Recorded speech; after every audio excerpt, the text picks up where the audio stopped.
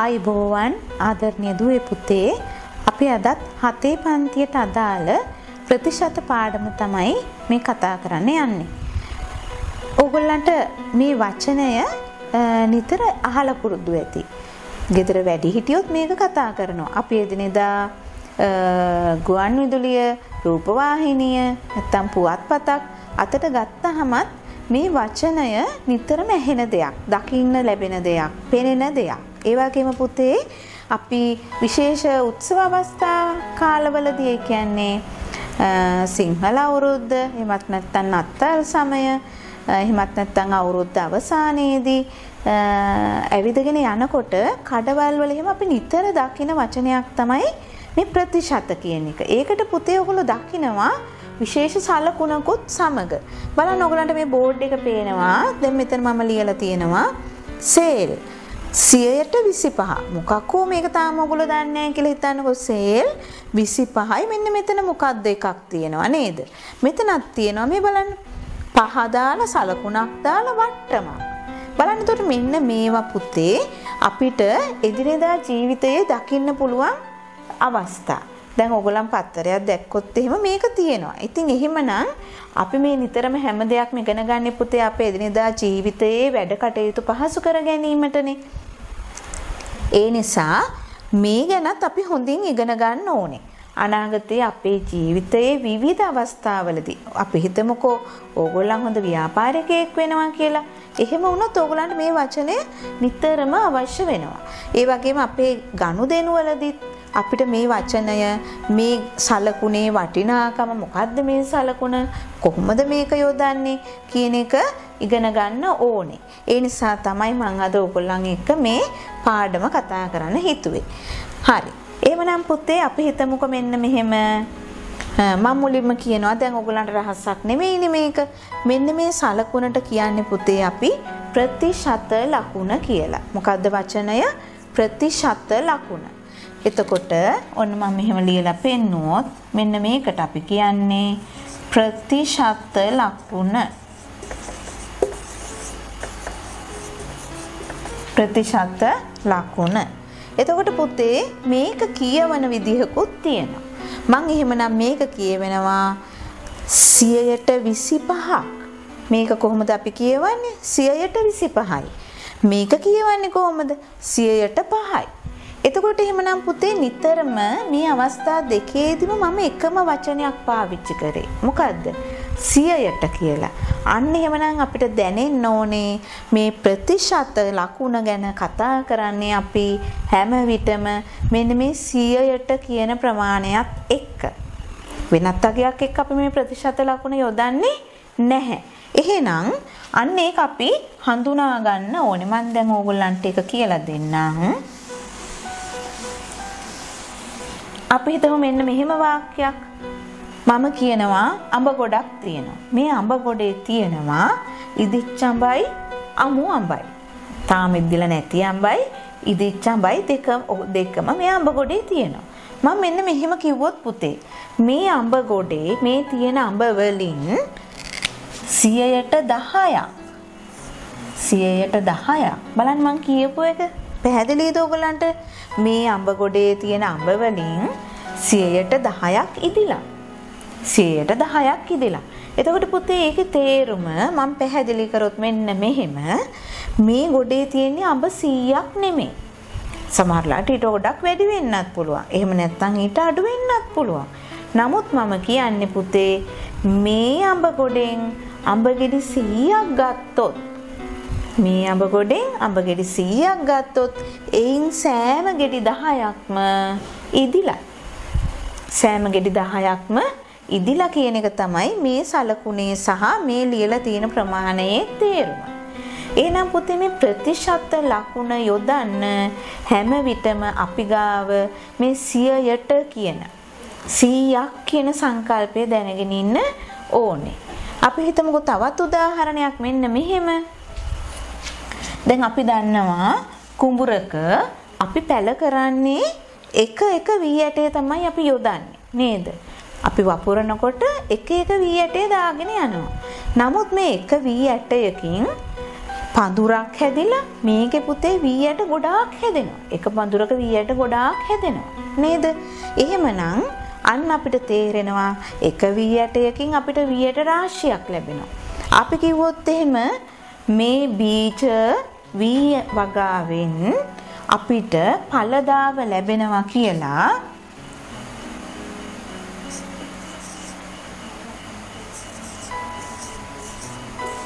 සියයට තුන්දස් පන්සීයක්.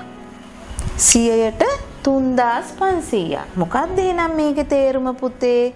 සෑම පීජ සීයකින්ම තුන්දස් පන්සීයක් ලැබෙනවා කියන එක. ඒ කියන්නේ බීජ ඇට අපි 100ක් පැල කරොත් ඒකෙන් අපිට ආපහු පළදාව ලැබෙනවා.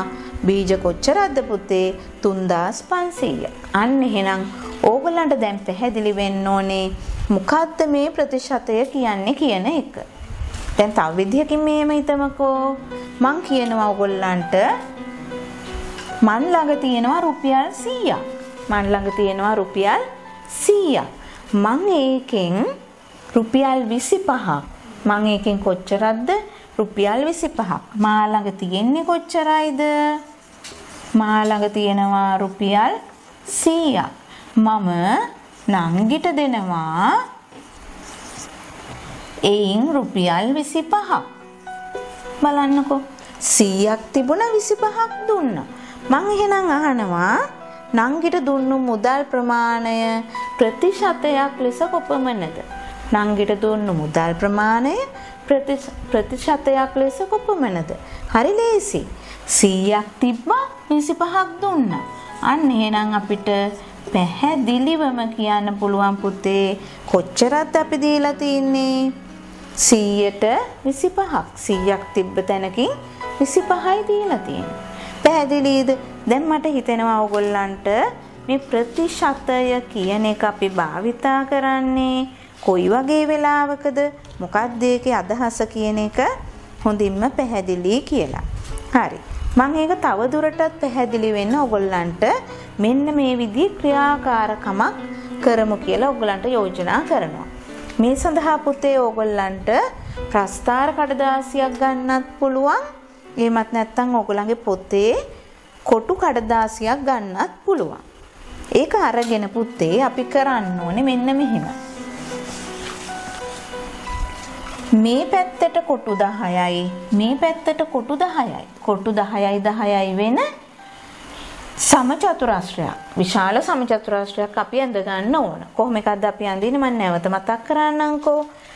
පළල පැත්ත කොටු 10යි දිග පැත්ත කොටු 10යි. කොටු 10 10 වෙන සමචතුරස්‍රයක් ඇඳ ගන්න ඕන. එතකොට පුතේ මේක ඇඳගත්තාම දැන් මට නම් මේ කිරි ගහන්න වෙනවා. ඕගොල්ලන්ට නම් ඉරි ගහන්න ඕනේ නැහැ නේද? ඕගොල්ලන්ගේ කොටුවේ තියෙනවා නේද? එතකොට මේ විදිහට ගත්තොත් එහෙම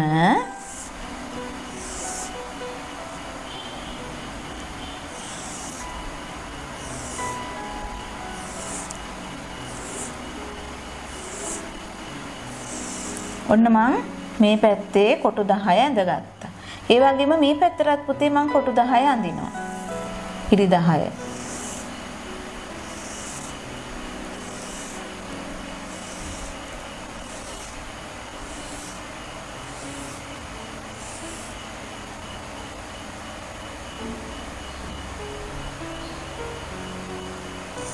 හරි. එහෙනම් ඕගොල්ලොත් මේක ඕගොල්ලන්ගේ පොතේ ඇඳ ගන්න ඕනේ. හරි.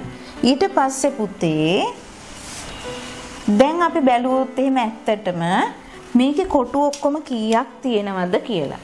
මේකේ ඔක්කොම කොටු කීයක් තියෙනවද කියලා අපි මේක ගණන් කරගෙන ගියොත් අපිට ලැබෙයි කොටු කීයක්ද? 100ක් තියෙනවා කියලා. නමුත් මුලින්ම තිබුණේ පුතේ තනි එක කොටුවයි. තනි සමචතුරාශ්‍රයයි. අන්න එහෙනම් අපි ඒකට කියනවා ඒකක එක. ඒ ඒකක එක තමයි පුතේ අපි සමාන කොටස් 100කට බෙදාගත්තේ. සමාන කොටස් 100කට බෙදාගත්තේ. කොහොමද මං එකවරම පුතේ මෙතන කොටු 100ක් තියෙනවා කියලා කිව්වේ?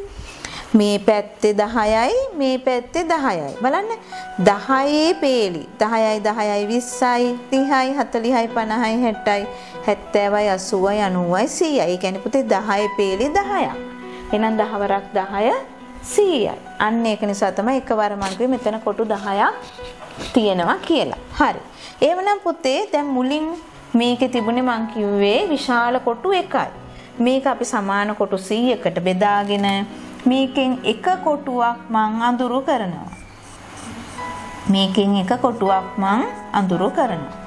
දැන් මං ඇහුවොත් එimhe ඔයගලන්ගෙන් පුතේ මං අඳුරු කරලා තියෙන ප්‍රමාණය කොච්චරයිද? මුළු ප්‍රමාණයෙන් කොච්චරයිද? මුළු කොටුවෙන් කොච්චරයිද කියලා ඇහුවොත් එහෙම අපිට පැහැදිලිම උත්තරයක් කියන්න පුළුවන් 100න් එකක් තමයි මම මෙතන අඳුරු කරලා තියෙන්නේ කියන එක. පැහැදිලිද? මං කොච්චරයිද අඳුරු කරලා තියෙන්නේ? 100න් එකයි. අන්න ඒක පුතේ අපි ප්‍රතිශතයක් ලෙස ලියන්න කිව්වොත් අපි ලියනවා මෙන්න මෙහෙම. පැහැදිලිද?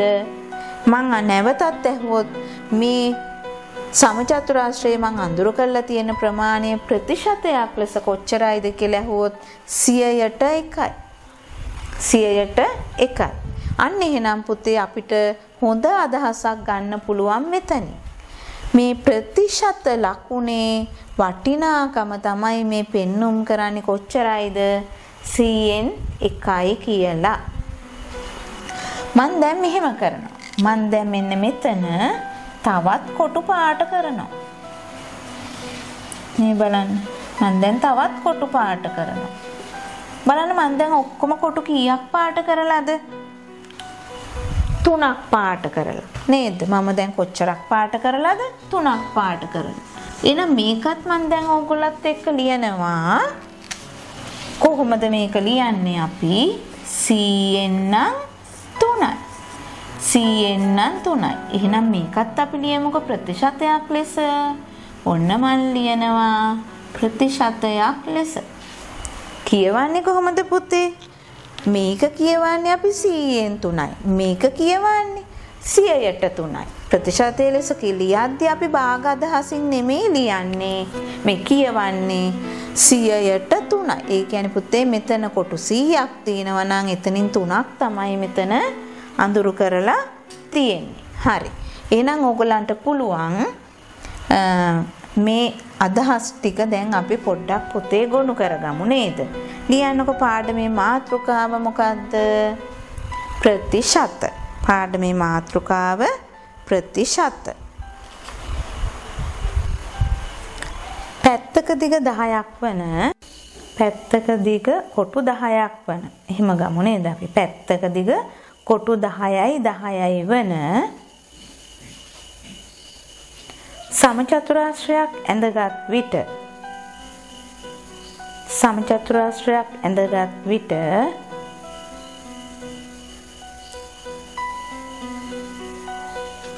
එය ඒකක එකකි. එය ඒකක එකකි.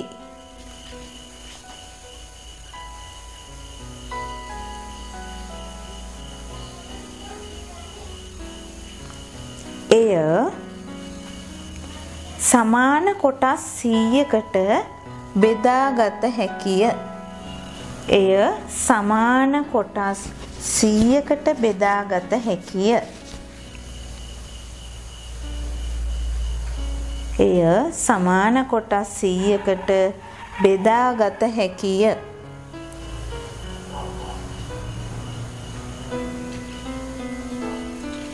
ඉන් එක් කොටුවක්. ඉන් එක් කොටුවක්.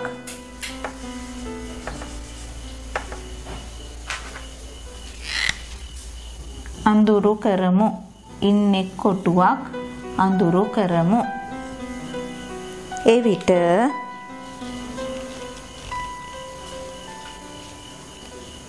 අඳුරු කර ඇති කොටස.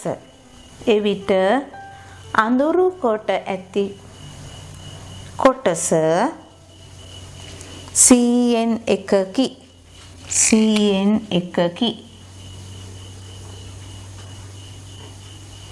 මේ විදිහට ලියන්න සීයෙන් එකකි. එය ප්‍රතිශතයක් ලෙස එය ප්‍රතිශතයක් ලෙස මෙන්න මේ විදිහට ලියන්න. එක ලියනවා ඇල ඉරක් දානවා දෙපැත්තෙන් මේ විදිහට පුංචි බෝල දෙකක් අඳිනවා. ඒක තමයි ප්‍රතිශත ලකුණ.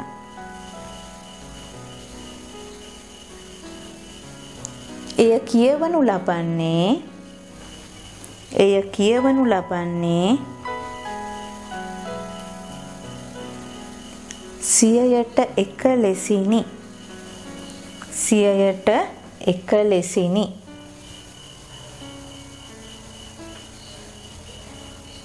දැන් ඕගොල්ලන්ට පුළුවන් පුතේ එහෙනම් මේක අඳින්න පොතේ ඇඳලා මේ විදියට කොට්ටු ජාලය ඇඳලා එකක් අඳුරු කරලා මේක ලියන්න. 100න් එකක් සමානයි 100ට 1යි.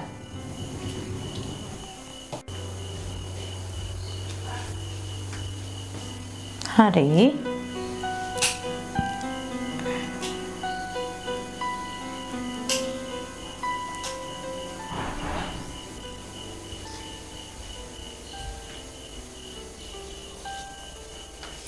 ඊළඟට පුතේ මම මේකේ දැන් ඔයගලන්ට පුළුවන් තවත් රූපයක් අඳින්න නේද? ටිකක් මේක අපි අදහස අවබෝධය ගන්න එපැයි හොඳටම. ඒ නිසා ඔන්න මම තවත් ඔක්කොම දැන් කොටු තුනක් පාට කරලා. එහෙනම් මෙතන දැන් තියෙනවා 100න් 3ක්. ඒ කියන්නේ ප්‍රතිශතය නම් 100ට 3යි. මේක කියවන්නේ කොහොමද? 100ට 3යි.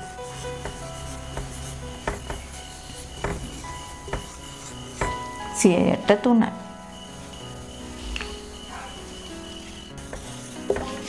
ඒ පුතේ මන් දැන් මෙතන ඕගොල්ලන්ට පේනවා වාක්‍ය කිහිපයක් දක්වලා තියෙනවා. බලන්න මේවායෙන් අදහස් කරන්නේ මොකද්ද කියන එක අපි පොඩ්ඩක් හඳුනා ගනිමු. බලන්න ඔයගොල්ලෝ මේක දන්නවා. දැන් මම මුලදිත් කතා කරා නේද? අඹ ගොඩක ඇති අඹ වලින් 10%ක් ඉදී ඇත. මොකක්ද ඒක අපි අදහස කිව්වේ? ඒ අඹ ගොඩෙන් අපි අඹ ගෙඩි 100ක් ගත්තොත් එයින් 10ක්ම ඉදිලා. එහෙනම් ඉදිලා නැති ප්‍රතිශතය ඇහුවොත් පුතේ අමු අඹ වල ප්‍රතිශතය ඇහුවොත් කොච්චරයිද? 100ට 90යි නේද? ඇයි 10ක් නම් තව ඉතුරුනේ 90ක්. එහෙනම් 100ට 90යි. මේක බීජ වී වල පළදාව 100ට 3500කි. මේක අද දින පාසලේ ශිෂ්‍ය පැමිණීම 175කි. බලන්න විවිධ අවස්ථා. මෙතන තියෙනවා මෙම මාස තුල ඩෙන්ගු රෝගීන් වාර්තා වීම 100ට 0.25කි. බලන්න මේක කොහොමද කියවන්නේ? 100ට 0.25. පැහැදිලි නේද? මෙන්න මේවත් අපිට උදාහරණ කියලා ලියා ගන්න පුළුවන්. ප්‍රතිශත භාවිතා වන අවස්ථා සඳහා උදාහරණ කිහිපයක්.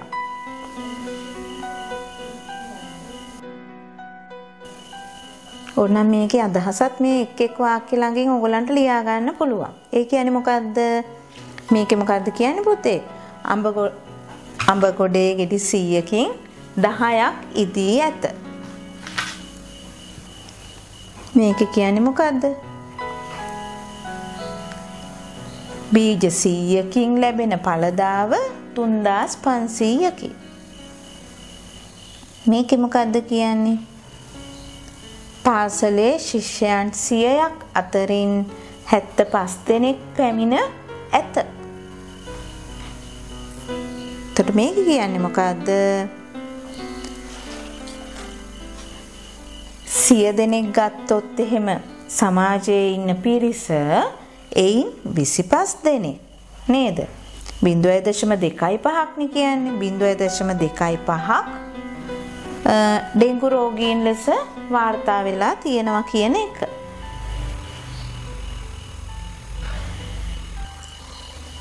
හරි.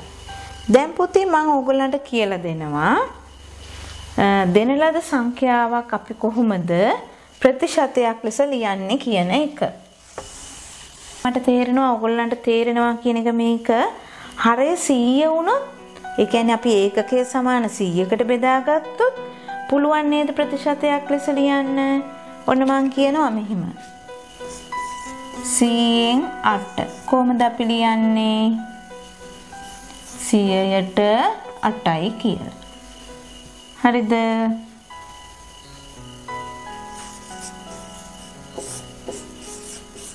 සීයෙන් තිස් දෙක කොහොමද අපි ලියන්නේ සියයට තිස් දෙකයි කියලා.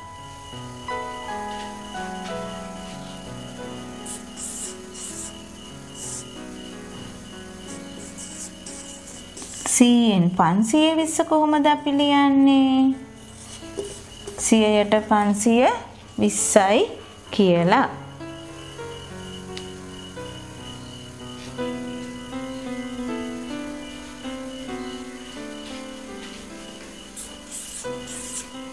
එහෙනම් සීයෙන් සීයයි කියන්නේ කොච්චරයිද? සියයට සීයයි කියලා. එතකොට පුතේ මේකේ තේරුම මොකද්ද?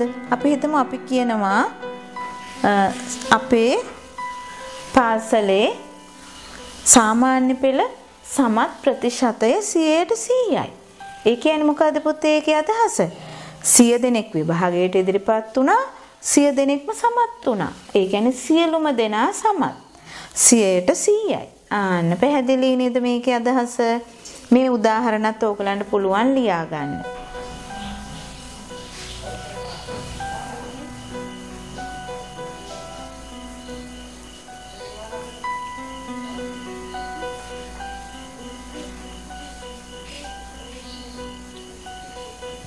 ඕන්නම් කියවන ආකාරයත් වරහණක් ඇතුළෙන් ඉස්සරහින් ලියාගන්න. 108යි 132යි 100ට 520යි 100ට 100යි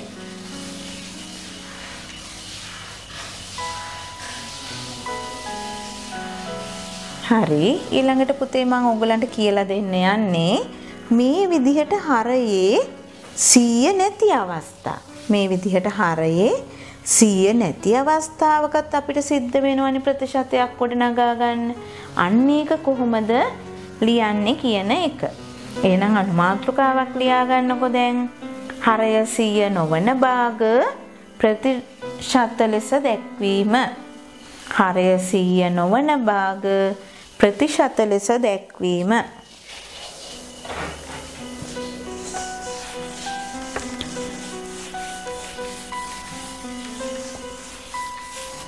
මේක පුතේ අපි කරන්නේ පොඩි කපටි වැඩක්. අපි දන්නවනේ අපේ ගණිතේ අපිට විවිධ වැඩ කරන්න පුළුවන් නේද? අපි අහලා තියෙනවනේ පුතේ තුල්්‍ය භාග කියන එක නේද? මොකද්ද තුල්්‍ය භාගයක් කියන්නේ පෙර භාගයට සමාන වූ තවත් භාගයක්.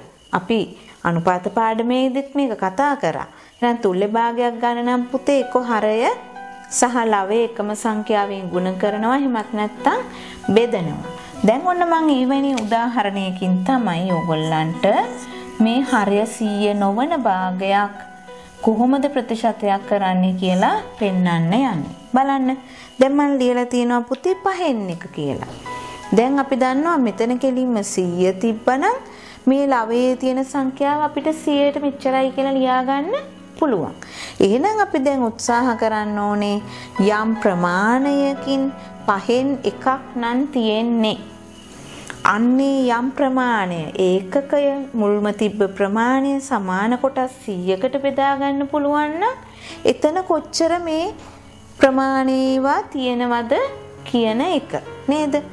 ඒකට අපි කරනවා මෙන්න මෙහෙම වැඩක් පුතේ 100 කියන එකට 100 අපි පහෙන් බෙදුවොත් ඒ කියන්නේ පස්වරක් කීයද 100 වෙන්නේ කියන එකයි මේ හොයන්නේ නේද?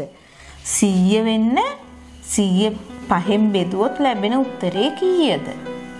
10ට පස් වරක් 2යි ඉතුරු නෑ බිඳුවට බිඳුවයි. එහෙනම් 100 පහෙන් බෙදුවොත් උත්තරේ පුතේ 20යි. අන්න ඒක හොයාගත්තාම අපිට පුළුවන් මේ සංඛ්‍යාව මොනවා කරන්නද?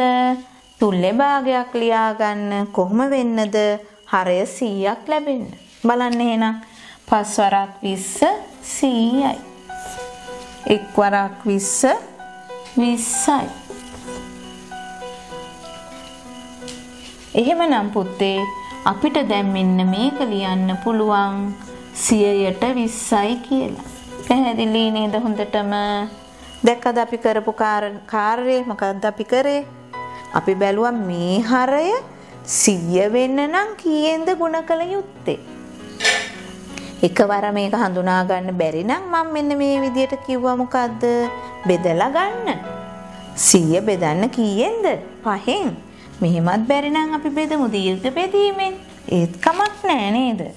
Tamanට පහසු ක්‍රමයකින් අපි බෙදන්නේ. පස් අරක් දෙක 10යි. ඉතුරු නෑ. මේ බිඳුවටත් නෑ කියලා බිඳුවයි. අන්න දැක්කනේ හඳුනාගත්තු ක්‍රමය.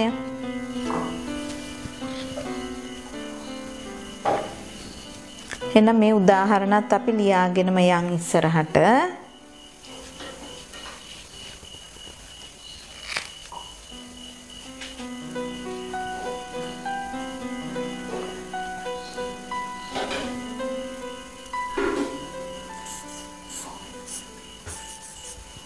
ඔන්න දෙවෙනි එක මම ලියනවා හතරෙන් තුන කියලා.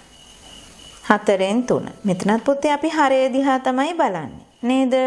එහෙනම් නැවතත් අපි බලමු 100 බෙදමු 4. ඔන්න මම තව පැත්තකට බෙදලා පෙන්නනවා. පුළුවන් නේද මේ පැත්තට අපිට හිතෙන් බෙදන්න? ඈ? එකට නෑ 10ට 4 වරක් 2යි. 4 වරක් 2 8යි. ඉතුරුයි මෙතනින් 10න් දෙකක් ඉතුරුයි. ඒ දෙක මේ පැත්තට ගෙනihin බලනකොට 20යි 20ට 4 වරක් 5යි.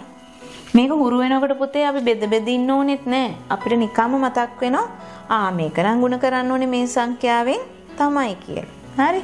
එහෙනම් පුතේ 4න් 3 අපි ගුණ කරන්නේ කීයෙන්ද? හරයත් හරයත් 25න් ලාවයත් 25න්. එහෙනම් 4 වරක් 25 100යි. 3 වරක් 25 කීයද?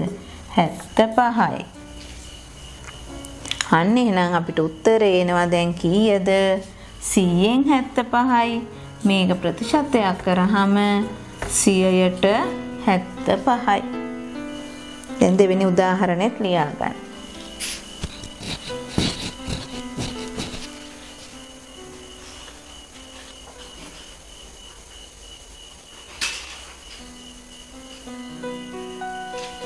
හරි මම දැන් ඕගලන්ට කියලා දෙන්න යන්නේ පුතේ පහ කියන සංඛ්‍යාව ප්‍රතිශතයක් ලෙස ලියන්නේ කොහොමද කියන එක.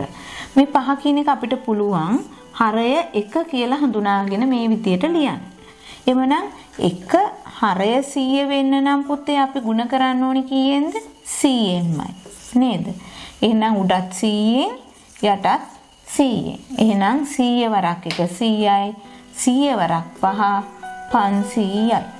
එහෙනම් 100න් 500ක් කියන්නේ 100යට 500යි.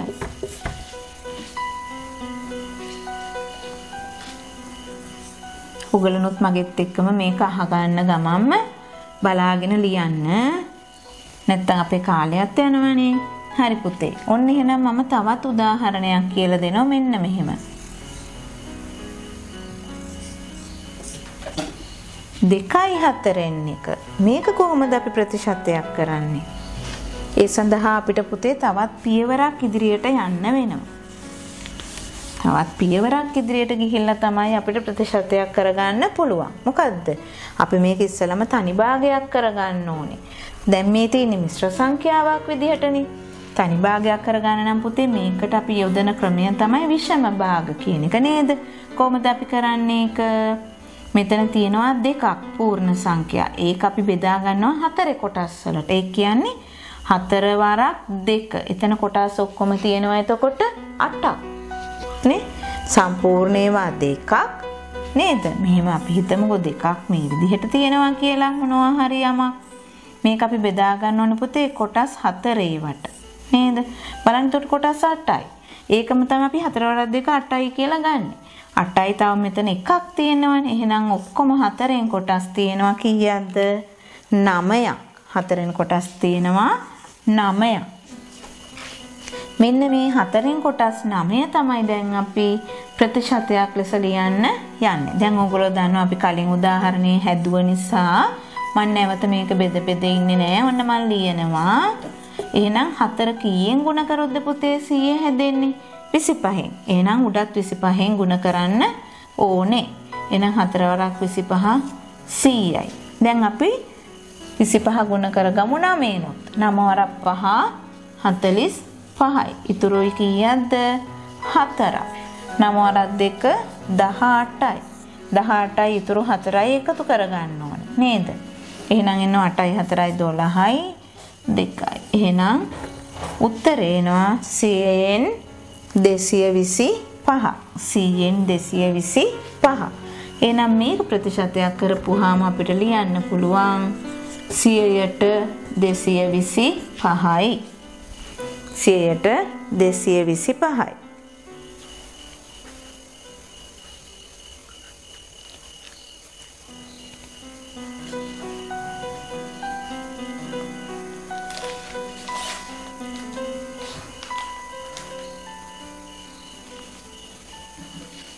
ඒ වගේම පුතේ දැන් මම තවත් උදාහරණයක් ඕගලන්ට කතා කරනවා. දැන් මම ඕගලන් එක කතා කරා පූර්ණ සංඛ්‍යාවක්.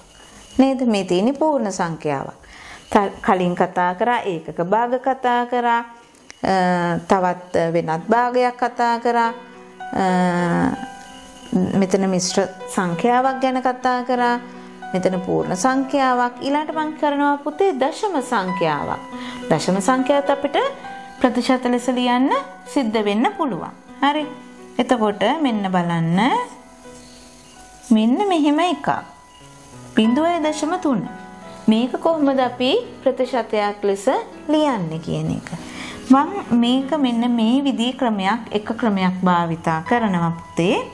අපිට පුළුවන් මේකත් භාගයක් ලෙස ලියාගන්න. කොහොමද අපි භාගයක් ලෙස ලියන්නේ?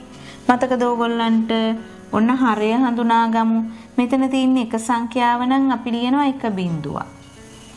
ඊළඟට මේ තිත වෙනුවට දානවා 1. එහෙනම් ඔන්න අපි හරය හදාගත්ත 10 කියලා. දැන් තියෙන්නේ මෙතන 3 නිසා අපි ඕක ලියනවා 10න් 3යි. එහෙනම් දශම 3 කියන එක අපි භාගයක් විදියට ලිව්වහම 10න් 3යි. දැන් මේක පුළුවන් නේද පුතේ අපිට ಗುಣ කරගන්න. 10 කීයෙන් ಗುಣ වුණොත්ද 100 හැදෙන්නේ? 10න් ಗುಣ වුණොත්. එහෙනම් දහවරක් 10 100යි දහවරක් 3 30යි. එහෙනම් 100න් 30.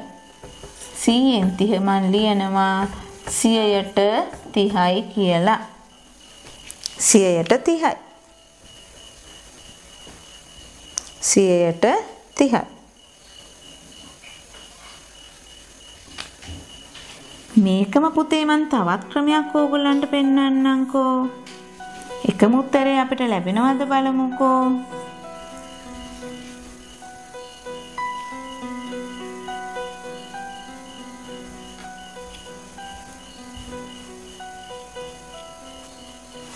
අපිට පුළුවන් පුතේ දෙන ලද දශම සංඛ්‍යාව ಗುಣ කරනවා 100ෙන්. කීයෙන්ද අපි ಗುಣ කරන්නේ?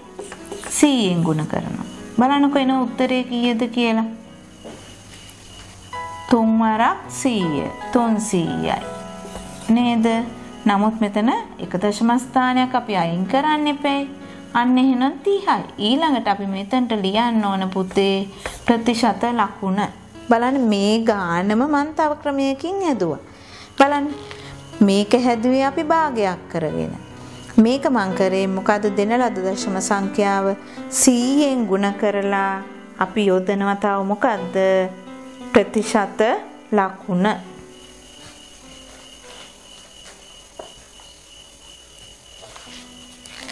අපි ಗುಣ කරන්න ඕනේ පුතේ මෙතනටත් ප්‍රතිශත ලකුණ දාගෙනම නැත්තම් අතන්ට එන්න බැහැ නේක නේද? දැන් මේක ඇත්තටම බැලුවොත් අපි ගානට වැරද්දක් කරලා නැහැ.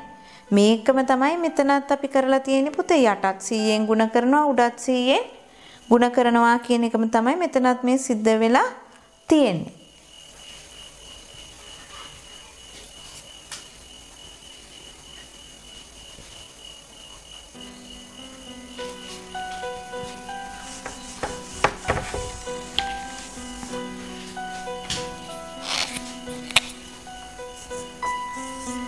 මම තවත් උදාහරණයක් දෙනවා. 2.9 ප්‍රතිශත කරන්න. එහෙනම් ඔන්න මම එක ක්‍රමයක් මට හිතෙනවා මේ දෙවෙනි ක්‍රමය ඔයගලන්ට ලේසියි කියලා නේද? මේක අපි ගුණ කරන්නේ කීයෙන්ද? 100ට 100ෙන්. හරි ලේසි. 100ෙන් ගුණ කළ ප්‍රතිශත ලකුණ යොදනවානේ. හරි. එහෙනම් මේකත් අපි ගුණ කරත් එහෙම කෙටි ක්‍රමය මොකද්ද? 29 ලිව්වා අගට බිංදු දෙකක් ලිව්වා. එක දශම ස්ථානයක් අයින් කරන්න ඕන නිසා අපි එක දශම ස්ථානයකුත් අයින් කරා. ඊළඟට අපි යොදනවා ප්‍රතිශත ලකුණ. එහෙනම් කියවන්නේ කොහොමද 100ට 290යි. 100ට 290යි.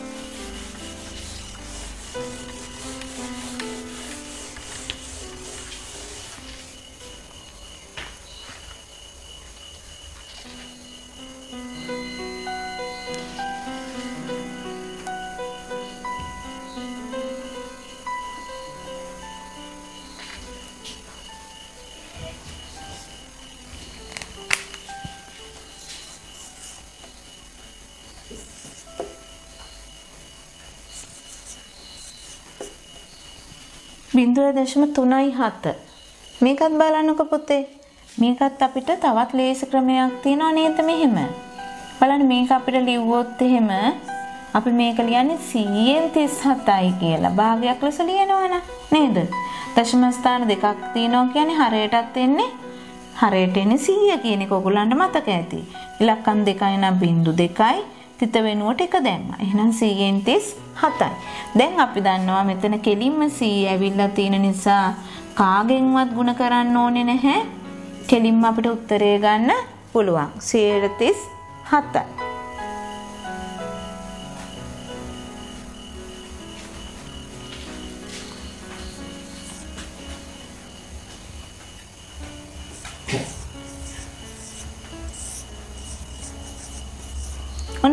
වෙනස් එකක් දෙනවා. දැන් මෙතන තියෙන්නේ මොකද්ද පුතේ? 1000න් 200. 1000න් 200 කොහොමද අපි ප්‍රතිශතයක් කරන්නේ? අපිට තේරෙනවා මෙතන හරය වැඩි වෙලා. නේද? එහෙනම් තවත් 100 වෙන්න ಗುಣ කරන්න ගියොත් එහෙම අපිට අපි අමාරුවේ වැටෙන්නේ. නමුත් අපිට තේරෙනවා මේක බෙදන්න ගත්තොත් ආ එහෙනම් අපි මොකද කරන්නේ? මේ හරයයි ළවයයි දෙකම බෙදා ගන්නවා කීයෙන්ද? කීයෙන්ද බෙදන්න ඕනේ? එක බිඳුවන්නේ අයින් කරන්න ඕනේ. 1100 වෙන්න. එහෙනම් 10න් බෙදුවොත් හරි. එහෙනම් උඩත් බෙදනවා කීයෙන්ද පුතේ? 10යි. එහෙනම් 1000 10න් බෙදුවහම 100යි. 210න් බෙදුවහම 20යි. අන්න එහෙනම් නැවත හරය 100 බවට පත් වුණා.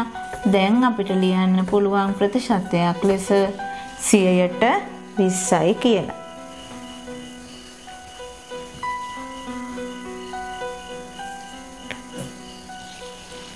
ඒ වගේම පුතේ ඕගලන්ට පුළුවන්කම තියෙන්න ඕනේ මොකද්ද?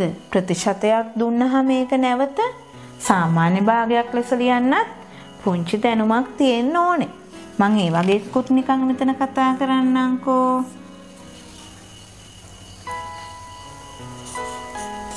සියයට හතලිහයි. මේක අපිට සාමාන්‍ය භාගයක් ලෙස ලියන්න කිව්වොත් පුතේ අපි මොකද්ද කරන්න ඕනේ? නිකන් මට කියන්නකෝ බලන්න.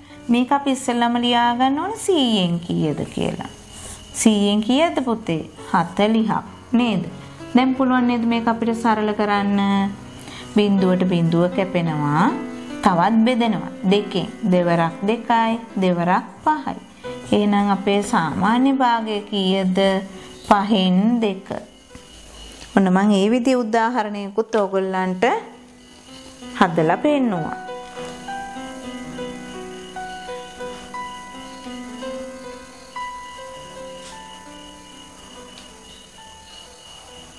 ඊළඟ උදාහරණය මෙහෙම ලියන්නකෝ.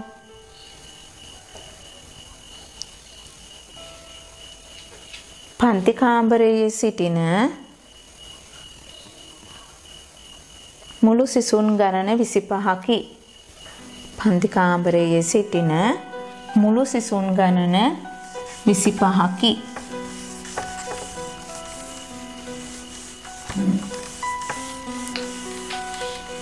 මුළු සිසුන් ගණන 25කි.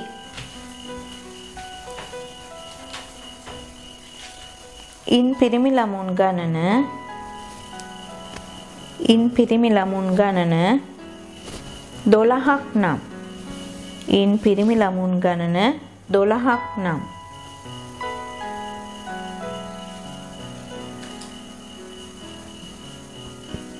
පන්ති කාමරයේ සිටින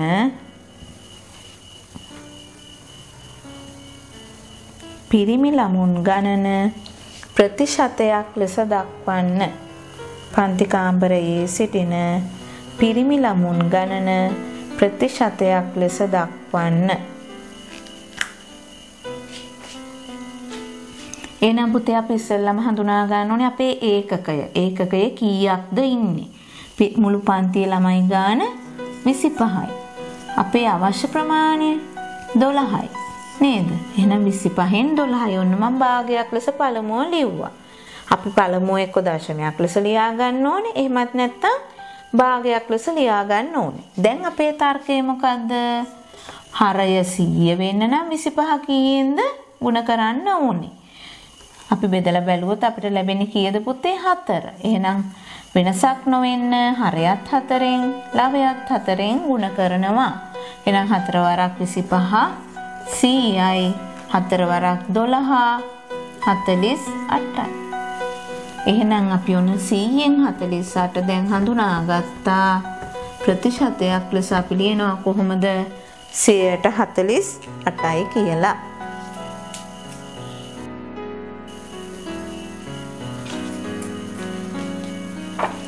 හරි පුතේ. එහෙනම් ඕගොල්ලන්ට හතේ පන්තියේට අදාළව ප්‍රතිශත වලට අවශ්‍ය දැනුම තමයි මම මේ ලබා දුන්නේ.